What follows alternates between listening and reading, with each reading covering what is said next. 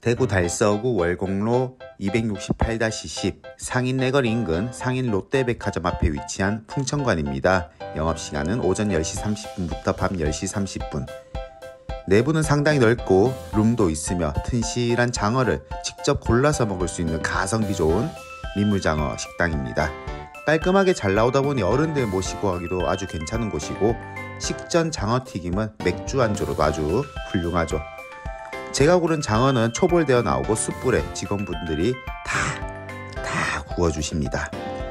장어 좋아해서 집에서도 가끔 구워 먹는데 아무래도 냄새 때문에도 있고 준비하는 번거로움 때문에 가격은 좀 있어도 식당에서 먹는 게 편하죠. 특히 풍천가는 저렴한 가격대다 보니까 부담도 덜합니다. 잘 구운 장어는 겉바 속촉 그 자체죠. 부드러운 속살은 기력 회복에도 술안주로도 훌륭합니다.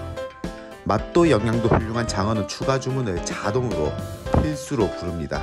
그냥 먹어도 좋지만 고추장아, 진한 깻잎, 부추랑 곁들여도 최고죠. 이 집은 장어탕은 사실 좀 그저 그런데 된장찌개는 맛있습니다.